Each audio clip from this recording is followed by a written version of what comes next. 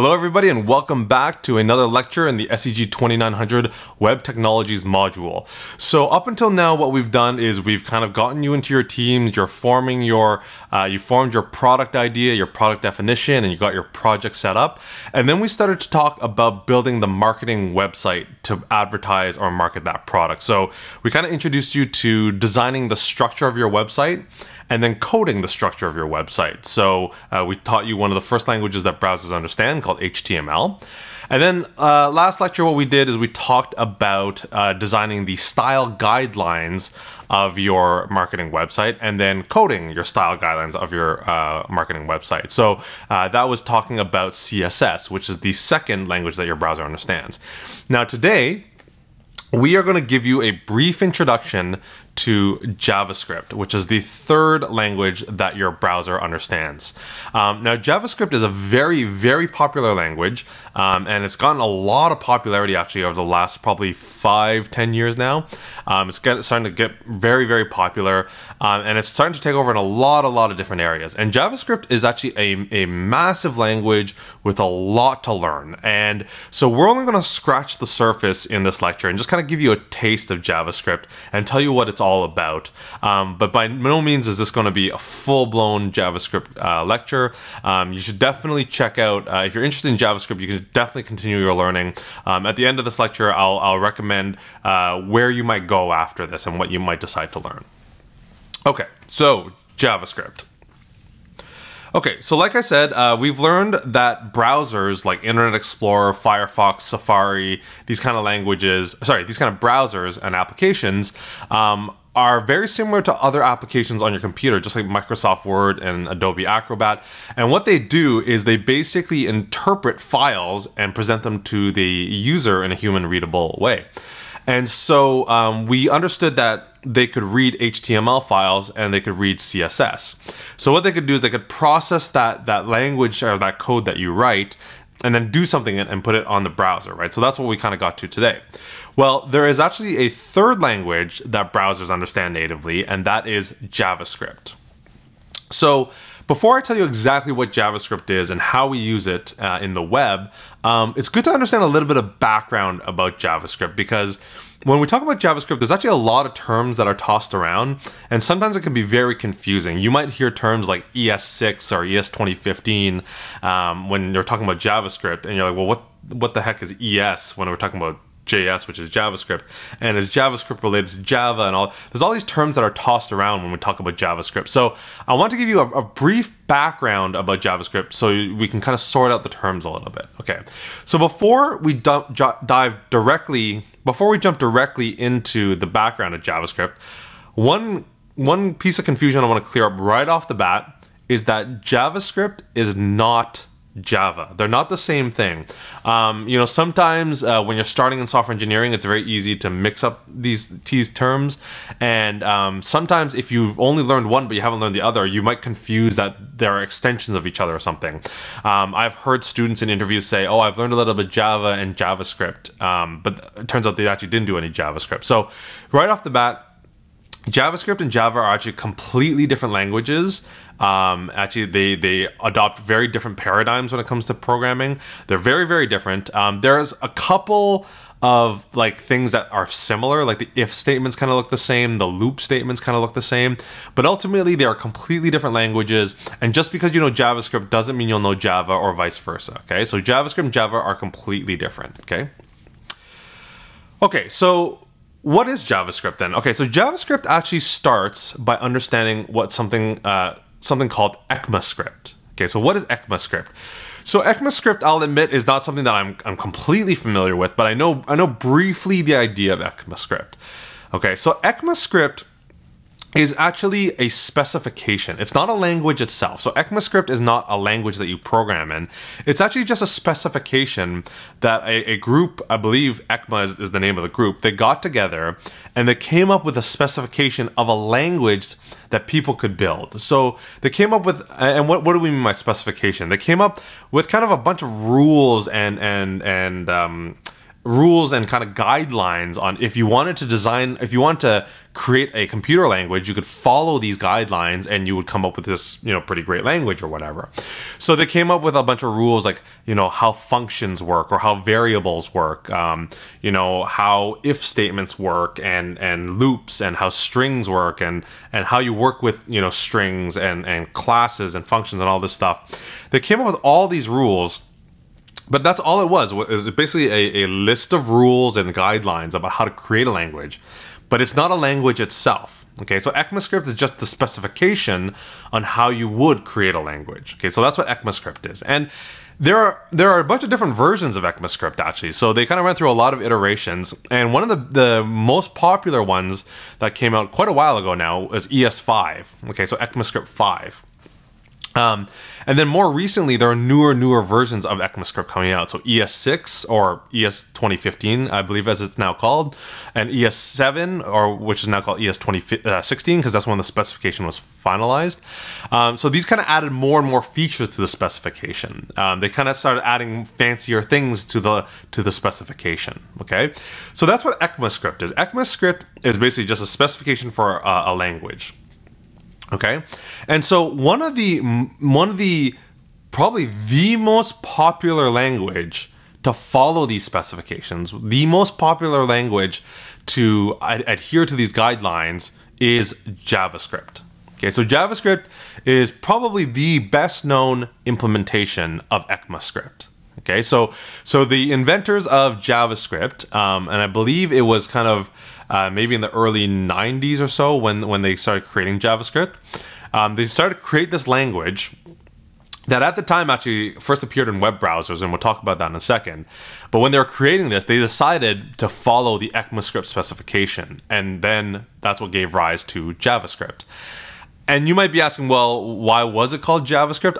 I, I read somewhere that they were apparently trying to uh, ride on the popularity of the of the Java language because everyone was like really into Java at the time. So like, oh, we can ride off that popularity and create JavaScript. Okay, so JavaScript is an implementation of ECMAScript. Okay, it's an implementation of that specification, but it's not the only one that exists out there. There's actually a couple of other languages that exist that that implement ECMAScript.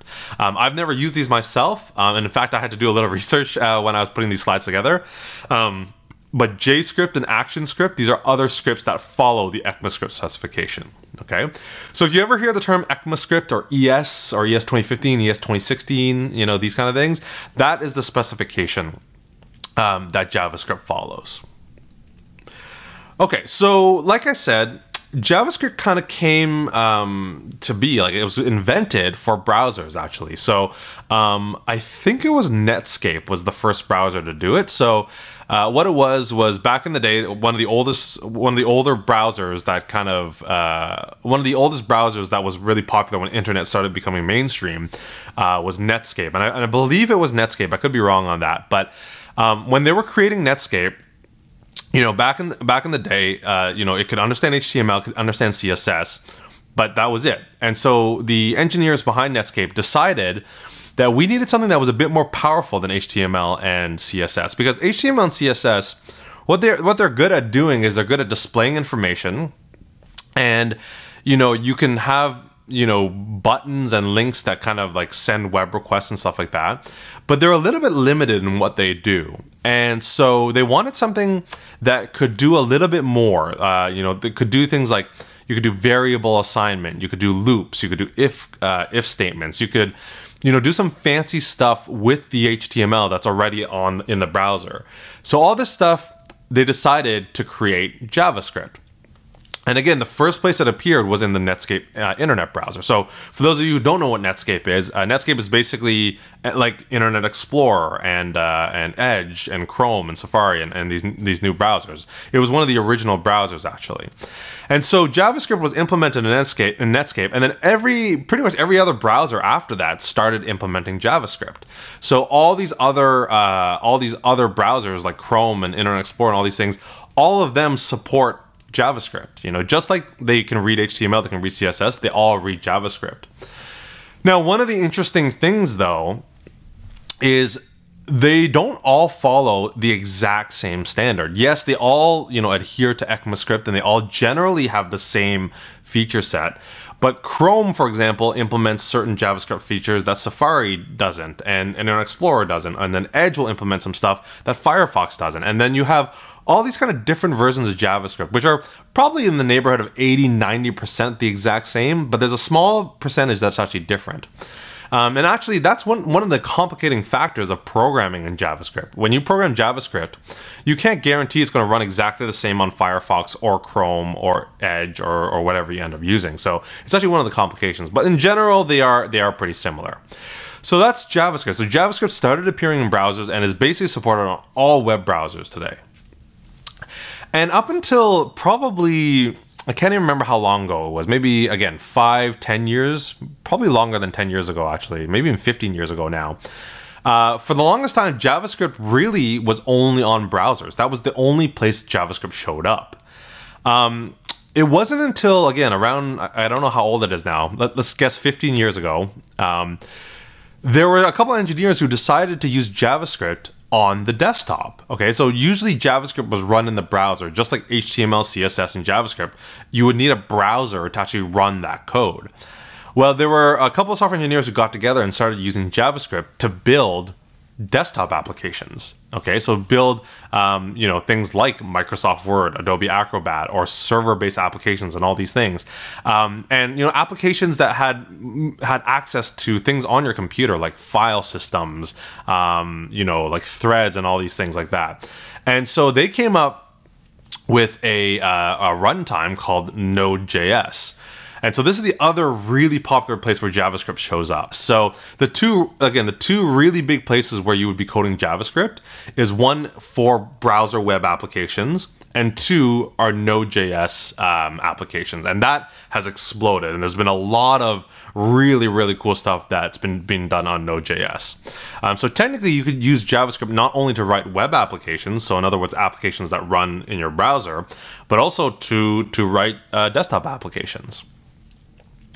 Now, even though you can use JavaScript in both these places, in this introductory course that we're teaching you here today, we're going to be concentrating specifically on the browser implementation of JavaScript. Okay, so the browser JavaScript only. So a lot of times when you kind of Google around and you start learning JavaScript, you might even see that uh, you know when using this in the browser or when using this in Node.js. Okay, so in this course we're concentrating purely on the browser and you know in some ways it's it's a lot le- it's a lot more limited than what you can do with Node.js, um, and in a lot of ways it's it's more powerful because it's very targeted towards what you can do typically in a browser. Okay. So that's what JavaScript is. That's where it appears. And again, in this course, we're concentrating specifically on browser JavaScript. Okay. So now you know the background of JavaScript, what ECMAScript is, how you know that JavaScript is not Java. Okay, um, so you know a lot, uh, kind of the background of JavaScript and, and, and what it's not. So what is it actually? What is JavaScript? Okay, so JavaScript is a functional programming language. Okay, well, the more I learn about JavaScript, I'm starting to learn that it's actually more than a functional programming language. It's called, it's sometimes called a multi-paradigm uh, programming language. So, in other words, it kind of it kind of takes pieces from a lot of different uh, different kind of programming paradigms. Um, and, and, basically what that means is, is, it has features from a lot of different styles of programming, okay? But ultimately it is a programming language, okay? Um, it's not, uh, and the reason, one of the reasons I mentioned this next slide is, is that in, in university, a lot of times we learn object-oriented programming, um, class-based object-oriented programming languages. So a lot of times um, in in undergrad in uh, programs we learn languages like, like like Python or or or Java or C sharp, and these are all um, traditional class-based object-oriented programming languages. So probably in your next semester you're going to learn that. So one thing to understand about JavaScript is that JavaScript is is not like those languages and it does not use classes. It does have things called objects, but they're not similar at all to how um, classes are used in things like Python and Java. So so just kind of be careful there when you go to learn Python or go to learn Java or C Sharp that the concept of an object is very different between those languages. Okay? Now, there is one caveat to that statement the newer version of ECMAScript, ES 2015, does have an idea of something called a class, but it's not really implemented the same way as classes are in languages like Java and Python and so on. Okay, so JavaScript is a functional programming language that doesn't use classes for its objects. Um, it has a lot of features um, that a lot of other computer programming languages have as well. Um, it has things like variables. So variables, I don't think I've programmed in any language actually that doesn't have the concept of variable. That's not true. That's not true. There are some, but it has things like variables. It has primitive data types, so things like integers and doubles and strings. Um, it has things like arrays, and it also has something called an object. Um, it has math logic, so you can do things like addition, division, uh, multiplication, exponents, stuff like that. You know, um, you can do string manipulation, so you can add words together. You can, uh, or what we call concatenate words together. Uh, you can chop off letters from a word, things like that. It has conditional statements or if statements, so you can do if else, things like that. Uh, it has loops, so you can loop over an array or collection. Um, like I said, it has objects. Um, you know, they're not traditional object-oriented objects, but they are objects. Um, and it has what are called first class um, function, first class citizen functions, uh, and we don't really get into that here. Um, but first class citizen functions is a very powerful tool actually that not all languages actually have. It's a, it's an interesting way to deal with functions, and it has a lot more. So so JavaScript has a lot of of, of power, and it's probably one of the reasons actually it's so popular. Um, so here, here's a couple. Here's a little bit. Um, here's some example code actually of what JavaScript looks like. Um, so at the very top there, you can see um, how to declare a variable. So to, to declare, sorry, to declare a variable, um, you use the word var for variable, and then you just specify a name, and you set it equal to some uh, value. Um, what's interesting here uh, that you you might not be used to in other languages is you don't have to declare the type of variable that it is. Um, there's that's what an if condition looks like. So you say if, and then in parentheses you put a condition. Um, and then loops is, is very similar to other languages. You can you can do a for loop, and so that'll loop over the numbers from zero to nine, so zero to one less than ten, and it'll output. You know, we've run this i times, so that's what some JavaScript looks like. So that's what JavaScript is. Okay, that's kind of just a high level overview of JavaScript. Okay, so it's a it's a functional programming language, um, and again, you can you can declare variables, you can write loops, you can you can do all this kind of stuff, right? So, like I said uh, a little bit earlier, we uh, JavaScript appears in two major places: server side for Node and browser. And in this course, we're concentrating on browser JavaScript. Um, and it's probably the other major reason why JavaScript is so popular. Actually, is, is, really the web because because the web became so popular over the last twenty so years. Um, JavaScript became really popular because so many people were programming websites and web applications. Um, so a lot of people started learning JavaScript. Okay, so so what do we use? Uh, so what do we use JavaScript in the browser for? You know, it's like why would we want to add numbers or why would we want to do loops and stuff like that? So what what do we use JavaScript in the browser for?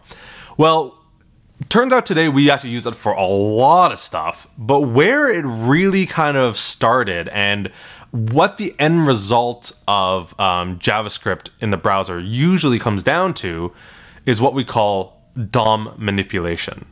Okay, so DOM manipulation is one of the biggest things that we do with JavaScript in the browser. Okay, and it's probably going to be the first thing that you do actually uh, in, in, in using JavaScript uh, in the browser. So what is DOM manipulation? So what, what is DOM manipulation? So to understand DOM manipulation, you have to understand what the DOM is. Okay, what does DOM stand for? Okay, so the DOM is what we call the document object model. Okay, so what does that mean exactly? Okay, so let, let, me let me walk you through this a little bit. Okay, so so uh, uh, either last lecture or a couple lectures ago, we talked about how a web browser works, right? So a web browser basically opens up an HTML file, and it and it basically takes a look at that HTML file and processes it, and then presents it to the user in a human readable way, right? And we we realized that the browser can actually get this file in one of two ways. You can either go to File Open and open a file that you have on your computer, or you can type in something in the URL bar and then it goes out to the internet and grabs that file and brings it down. So either way, at the end of the day, the browser grabs an HTML file and looks at that HTML and again parses it and processes it and then presents it to the user in a human readable way. Okay? So let's dissect that piece a little bit. So what how how is it doing that exactly? So okay, so we look at this slide. I'm just going to shift it over a little bit. Okay, so the HTML file has come back to the browser, and let's just blow up the internals of that browser a little bit and look inside there. Okay, so that HTML file comes down, and that's what we call the document. Okay, that's a document. All right, so the document comes in, and then the browser is going to look at that document and read that document. Okay, and from that document, it's going to create something in the browser called the document object model. Okay, so what the document object model is, is it's basically a, a representation of that document. Okay, so it's going to look at that document says, oh, you have an HTML tag, and then you have an H1 tag, and inside that H1 tag, you have the words welcome to my website. Oh, and then you have a P tag for a paragraph tag, and the paragraph tag has some text in there. Oh, and then you have a link. Okay, and then that link has this property on it and all this stuff, right? And so it takes all that data and puts it into um, a bunch of objects in the browser. And that's really what is causing you to see the thing, the, the stuff that you see in the browser is that document object model. Okay. So, so what happens is the reason you see the text and all that stuff, that's all contained in the document object model. Okay. So, so it's not that it's exactly presenting the document directly, is it converts that document into the document object model, and then that's what you see on screen. Okay, so that's how a browser works, all right? And so what's really powerful about JavaScript in the browser is that JavaScript, any JavaScript that you write in your in your code can actually have access to that document object model. So you can actually interact with that document object model and actually start to manipulate things. So remember how I said like that document object model will have like, oh, it has an HTML tag and an H1 tag. And inside the H1 tag, it has welcome to my first website, things like that. You can use JavaScript to go find that H1 tag and change the text inside. You can even change the color. You can you can change the content. You can do all this stuff to manipulate the original document. Okay, so the original document comes in, and then you change it if you want with some JavaScript. Okay. So, like I said, for example, you might want to change the H1 text from saying hello to saying goodbye. That's something you might do. Okay, that's that's an example of of DOM manipulation. Okay, and that's really one of the big powers of JavaScript is that you can actually programmatically change things in the DOM. So like I said, when we when we start programming JavaScript in the web, this is the most common thing that we do. So so I'll give you a couple examples, but what else can you do with DOM manipulation? Quite a bit. You can you can change an element's text. You can change the text in a tag. You can change any of its attributes. So if you've learned some HTML now, uh, you know that tags have attributes. Like an anchor has an href, an image has a source, right? You can change those values you can change the CSS. Okay, so you can change the the style of the uh, of what you're dealing with. Um, you can change what classes are applied to the what CSS classes are applied to an element. Uh, you can add new elements if you want. You can delete existing elements. You can do quite a bit, right, to really make the HTML almost interactive. Okay, you can change things on the fly. So here's a little bit of some example JavaScript code of how you would do that. Okay, so so usually the way you do this is you target some element. Okay, you find some element in your document. Okay, so my first line there is var my element. Okay, equals document dot get element by ID. Okay, so document dot get element by ID is some built-in JavaScript in the browser, and I'm gonna find the element that has the ID my header. And once I get that element, I'm going to change the content inside from hello to goodbye. Okay, so that's that's an example of something you might be able to do. Okay. All right, so let's let's uh, let's do a quick demo here, and The demo I'm going to show you um, is actually using something called uh, the JavaScript console.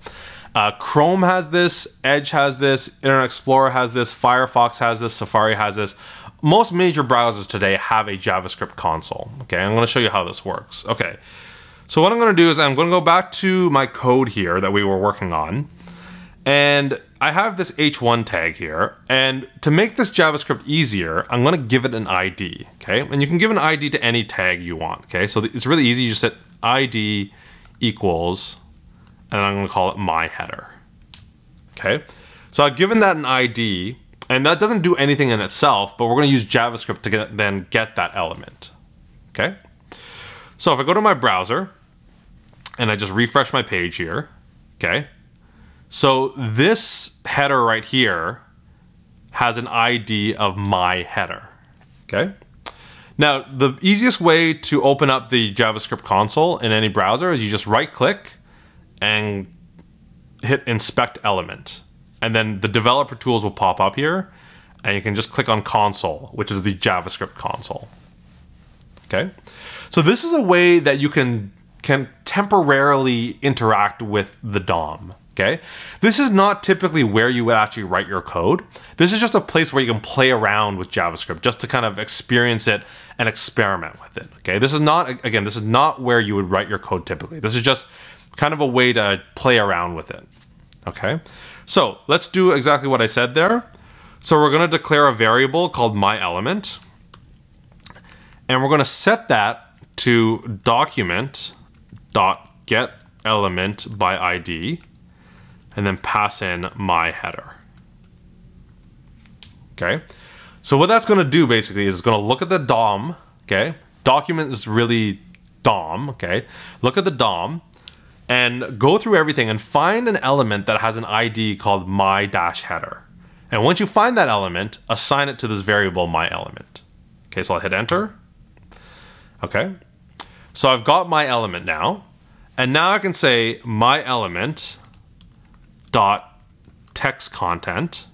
Okay, and I can set that equal to whatever I want. Okay, I'm gonna set that to thanks for visiting my website. Okay. Now, before I hit enter, take a look at welcome to my my website, okay? Watch welcome to my website. Okay?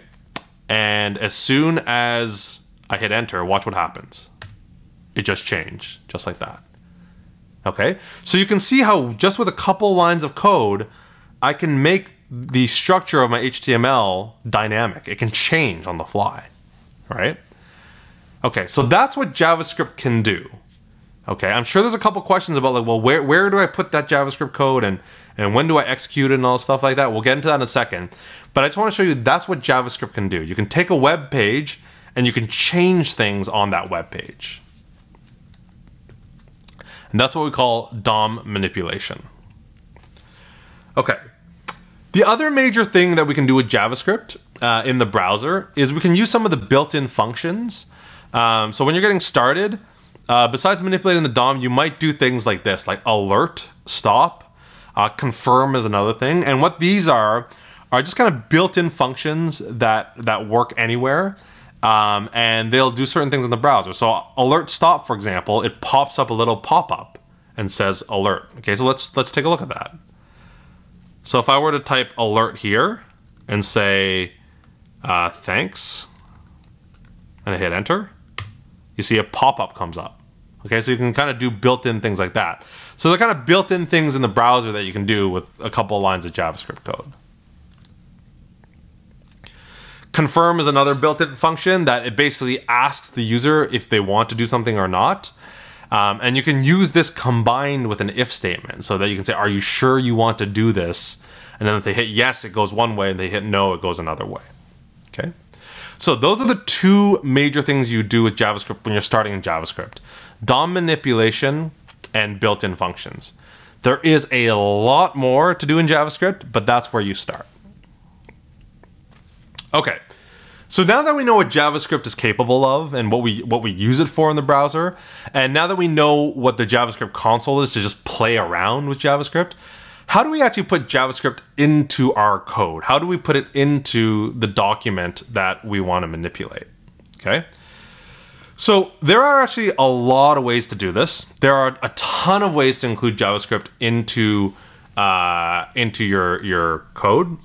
Um, but if you're starting out and you're just beginning, which again a lot of you are, the easiest way to do this is to put it in the same HTML page that you want to manipulate.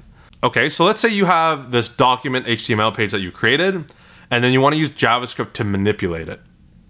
Okay, the easiest way when you're getting started is just put it put your JavaScript at the very bottom of that HTML page, and you're going to put it inside what are called script tags.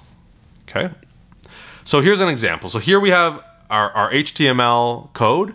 Okay, it's got an open HTML, a body, an H1 tag with the ID my header. Okay, so if you want to add some JavaScript to this, you simply add it at the very bottom. Okay, so you have an opening script tag and a closing script tag, and you have to specify the type. So you're going to say type is text slash JavaScript, and then in there you can put whatever JavaScript you want. Okay, so the script tags help the browser understand that okay, whatever's in here is not actually HTML. Whatever's inside here is actually JavaScript.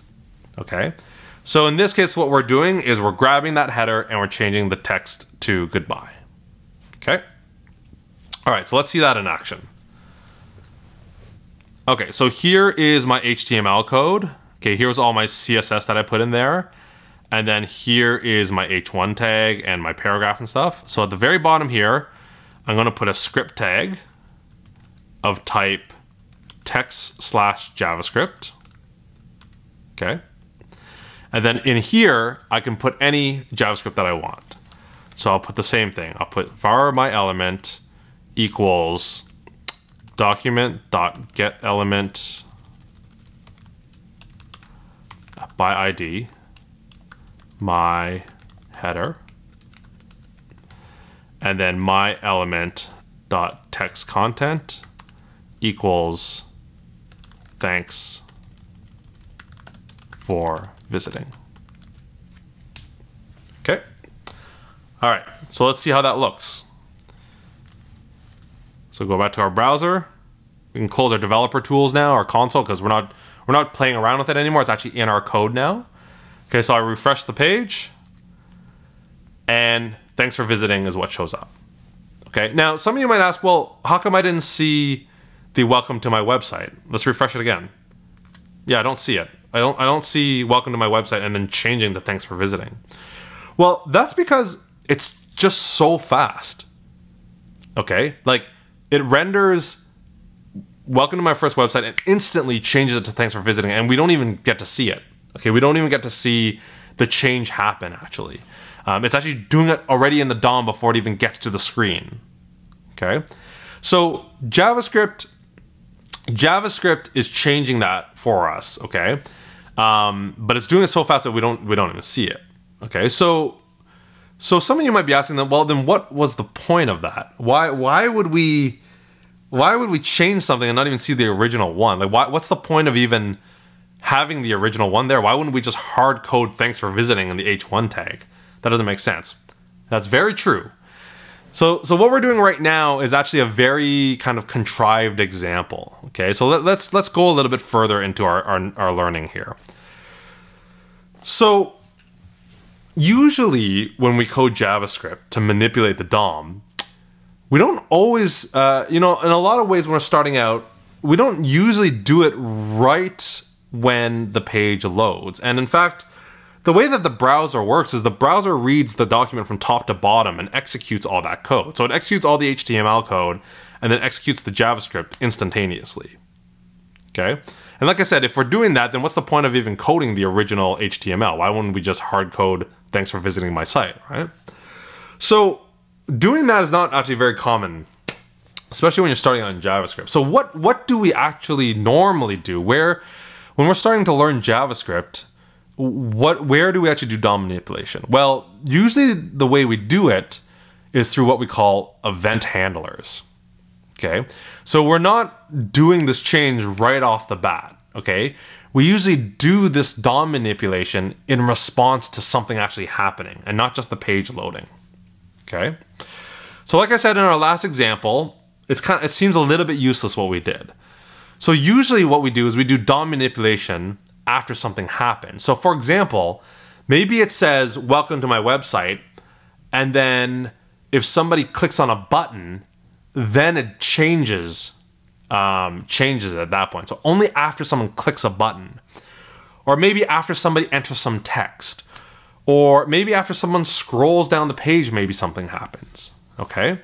So all these things we're talking about, these things happening, a, uh, a button click, a hover happening, some text being entered, these are all all called events. Okay, so these are events that happen in our on our web page. And what we can do is we can attach event handlers. Okay, so if an event happens, handle that event. So if an event happens, do something. All right. So these are what we call event handlers. When an event happens, run the event handler. Okay. So here's an example. So we have we have the uh, text there, the HTML. So we have the header, my header, hello. And we've added one extra thing underneath it. We've added a link. Okay. So we've added a link underneath there and so-called change text and the it's pointing nowhere. So anytime you have href with a hashtag or href with a pound sign, it usually just means like a dummy link. So we're not actually going to link anywhere. And we gave it an ID. Okay, so the idea here is we have a header and then we have a link, and if we click on that link, that's when it's going to change. Okay, so how are we going to do this? Step one, what you want to do is you want to declare a function. You want to write a function that's going to be acting as your event handler. Okay, so step one is to write a function that this is what you want to execute when the event happens. Okay, so you actually write the event handler first. You write that function that when the event happen when the event happens, this is what I want to run. Okay, so that's where step one is here. Okay, so step one, I've created a function called my function. Okay, and my function is declared this way. Okay, it's a little bit funny syntax, but basically what you're doing is you're declaring a function here. Okay, so function, parentheses, curly brace, curly brace. And this is the body of the function, these two lines here. Okay, so created a function, and inside that, what it's going to do is it's going to get the header and change the text to goodbye. Okay, so that's just declaring a function, which is different than just writing that code right in there. So this is this is inside the function, and the function is only going to run when an event happens. Okay, so step one is just declaring that function.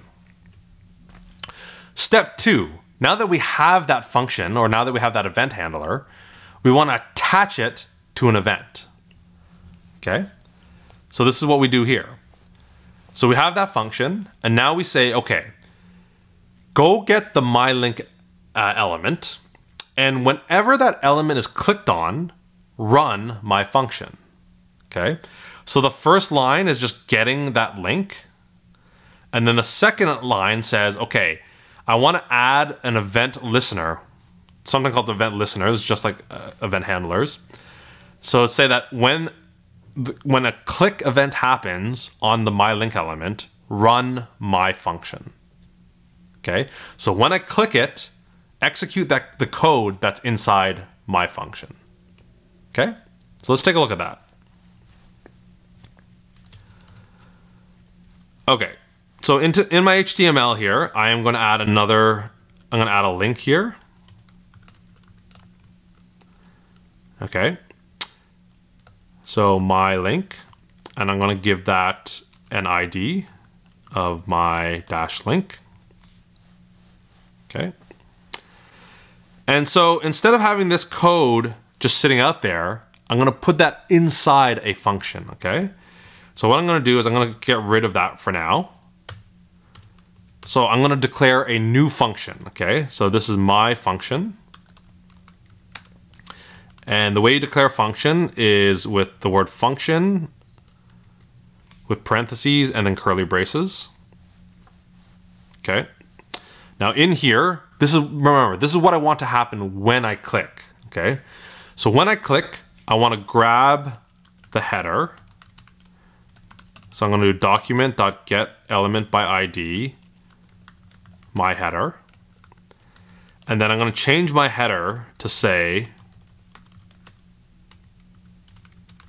thanks for visiting my website. Okay. So that's just declaring the function. So again, it's not actually running. It's just it's just this is what I want to happen when it when it when it runs, but right now it's not running. So if I refresh the page right now, nothing's going to change except for that link just appearing. Okay? So I have this my link that's appearing here, but nothing's actually happened yet. Okay? Okay, now what we want to do is we want to say, okay, if that link is clicked, run my function, okay? So we need to grab that link, okay? So I'll say my link equals document dot get element by ID, my link. Okay, so that grabs the link. And now I say add event listener, listen for the click event, and if the click event happens, run my function. Okay, so let's take a look at that. So refresh the page. So now if I click on this, that'll fire the click event and run my function. So when I click on it, you'll see it changes. Thanks for visiting my website. Okay. Let's see how the, let, let's take this a little further and, and, and see how this might look. Okay. So let's say, let's, let's put this in here. Okay. So let's do, um, let's put a paragraph in here and let's say, did you like my website? Okay. And actually I'm going to move this link into there so it's centered make it look a little bit nicer. And I'm going to copy and paste that link. Okay, so we're going to have two links. Okay, the first link is going to be is going to just say yes, I like the website, and no, I didn't like the website. Okay. Now, because they're two different links, we should give them two different IDs. Okay. So, so we'll call this the yes link, and we'll call this the no link. Okay, so I've added two buttons there, the yes link and the no link. All right. Actually, you know? I'm going to put them inside their own paragraph so they have some space in between them.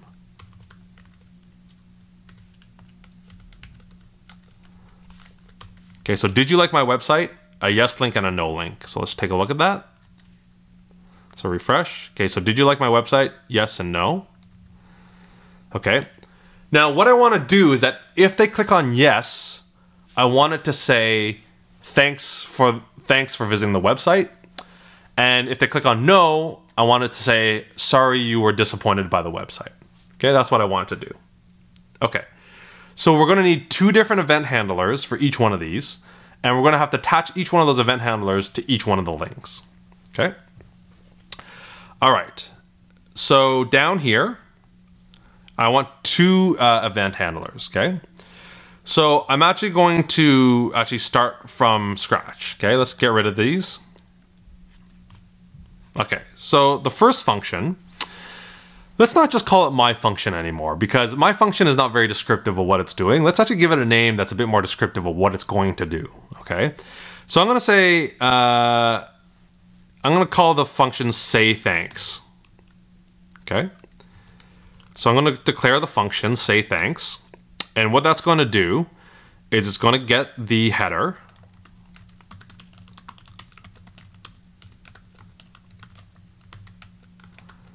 And it's going to change it to say, thanks for visiting my website. Okay. That's my first event handler. Okay. Now I'm going to declare another event handler. Say sorry. Okay, so I'm gonna grab my header again.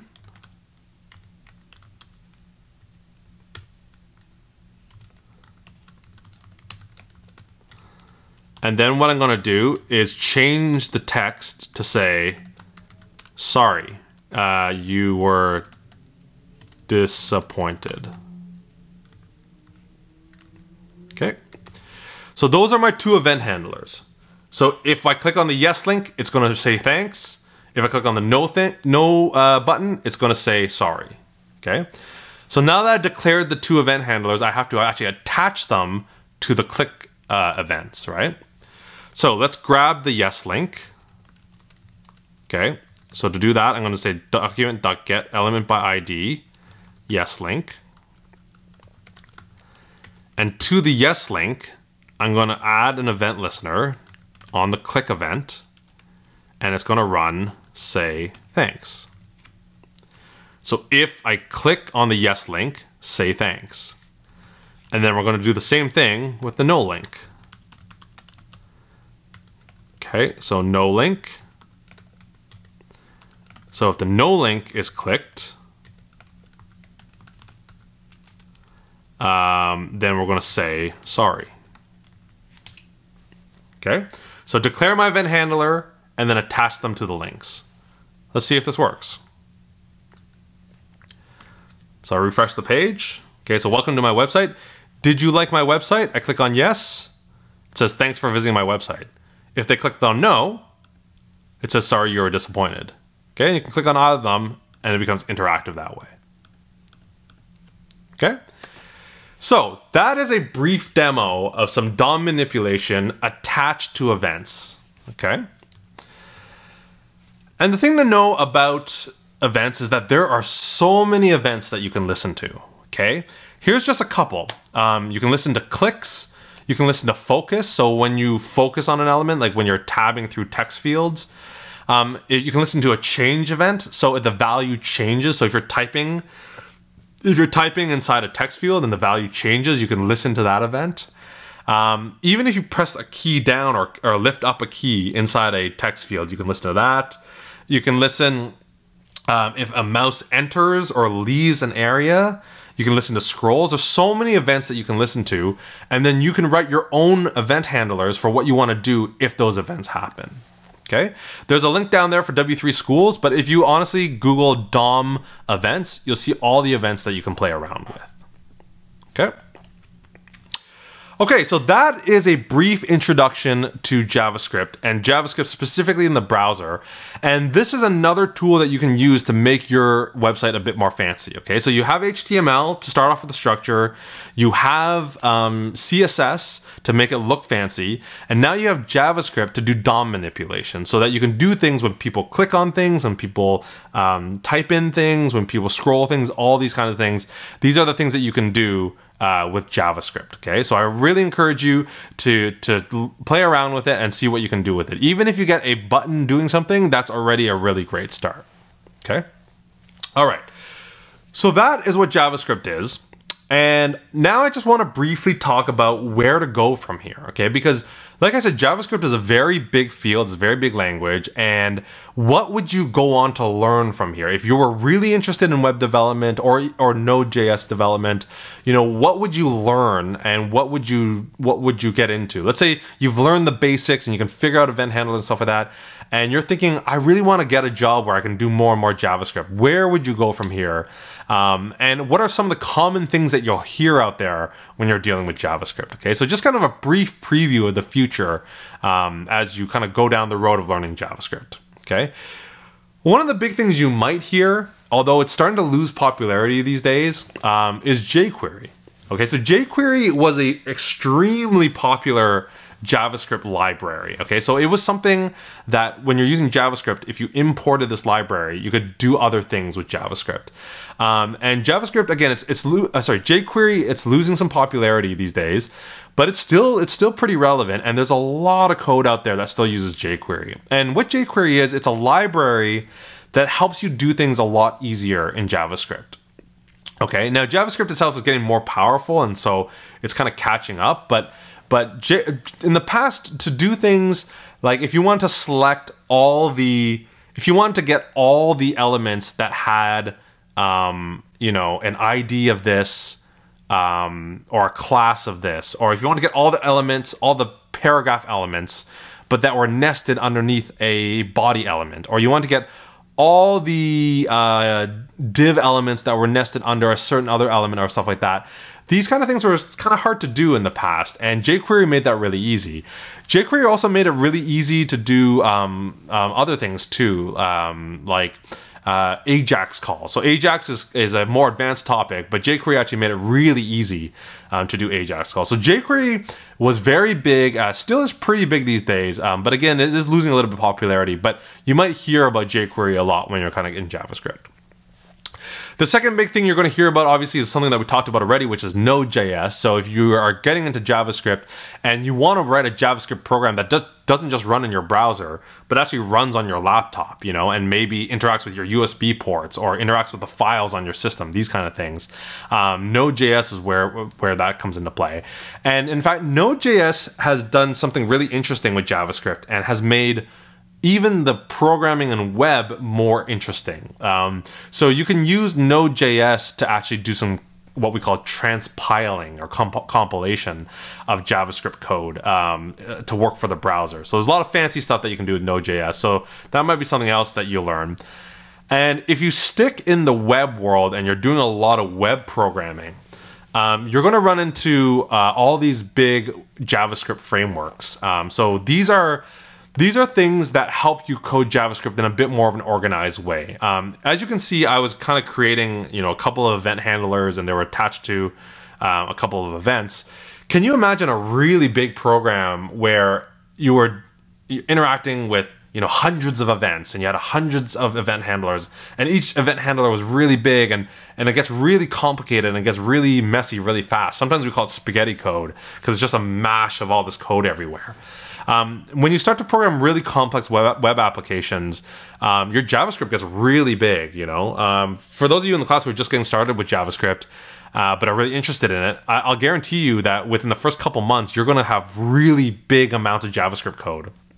Um, so what happened in the last, I want to say, five, ten years is some of these big JavaScript frameworks came out to kind of bring some sanity to uh, our JavaScript code and make our JavaScript a lot more organized. And some of these include uh, libraries like Angular, React, Vue, and Ember. So these are all uh, frameworks that basically help you write clean JavaScript code and keep all your JavaScript organized uh, in, a, in a really nice way. Um, I myself have only used React I, I've touched Vue very briefly. I've never used Angular and I've, I've used Ember. Um, but I can say React is, is really, really cool. Really love what React has done to the JavaScript world. Um, and, and Vue actually has, I, I, the brief amount that I touch Vue, I can really see its advantages there. React and Vue are actually very, very similar. Um, Angular is a bit bigger and solves a bit of a bigger problem. Um, but those are the JavaScript frameworks that you'll be using. So um, think of them as like you can technically do everything you could do in those languages in just regular JavaScript or what we call vanilla JavaScript. You can just write vanilla JavaScript and do everything that those those things can do. It's just those things just make it a lot easier to do these things. Okay, so if you're really interested in web programming, eventually you'll probably run into those things. Okay. So that is it. That is lecture 3.5 on JavaScript. Um, hopefully you found it interesting and, and kind of got excited about what you would be able to add to your website. We'll see you guys in the next video.